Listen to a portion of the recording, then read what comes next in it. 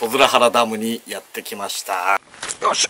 あーしゃギルフラット。ギルフラットに、ね、こんな感じのハルバスくん連れてくれましたよ。さあさあさあさあ幸先よく、ね、ギルフラットくる連れてくれましてちょっとねサイズが小ぶりだとよくこの大きめの針にしっかりかかってくれたなっていうことでこんな感じで5番のフックで打ってみております。で重りは 5g まあねちっちゃいながら一応釣れてくれたらしっかりとライン結び直して次の1匹に備えると。いやーさすがねもうちょっと汗ばむぐらいポカポカだからねえ。ここにいたってことああこんな浅いとこにいたんだ。こういうカバーのとことかもいるんじゃないか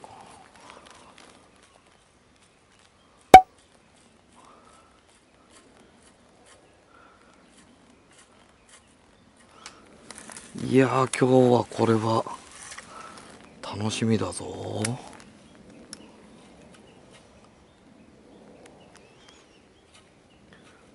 もうねボート屋さんから出てすぐの1個目のワンドね。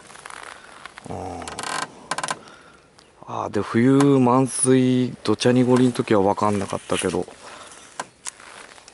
結構こうなんかそこに沈みの障害物立ち木がこんないっぱいあったんだな。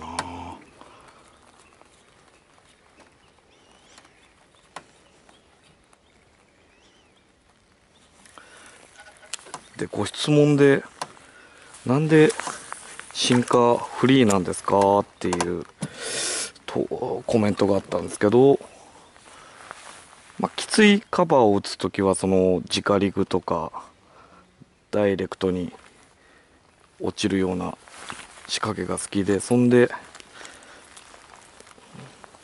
そんなにねカバーきつくない時は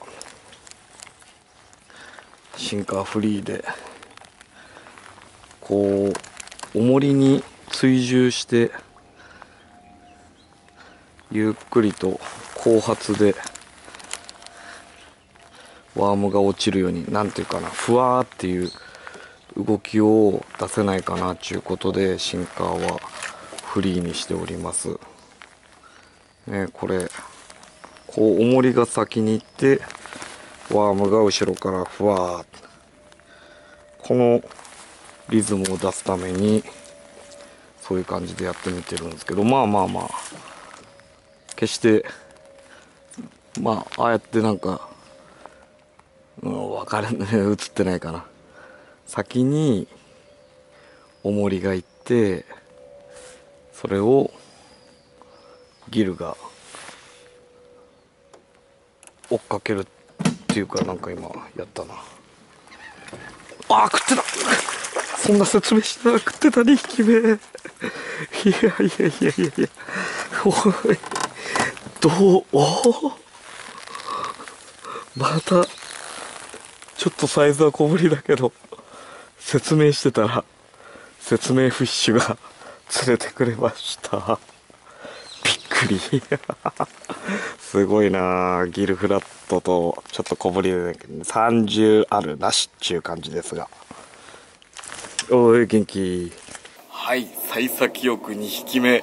ねなんか喋ってたら釣れちゃいましたけど。あーギルフラット絶好調。小ぶりだけどね5番サイズでしっかりかかってくれるんで。まあフッ素加工のツルツルな針ってのがいいのかもしれないですけどね。大物が来ても安心だしこのサイズも釣れてくれるんだったらねこのフックサイズでいいかなって感じですね。ちょっとしばらくこれでまた投げてみたいと思います。2匹目。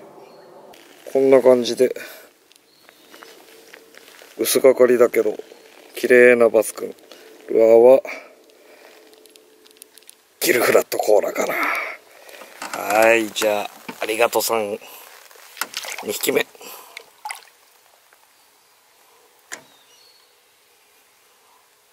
いやー3月中の苦戦が嘘みたいなんかいいですね、とずらっぱら。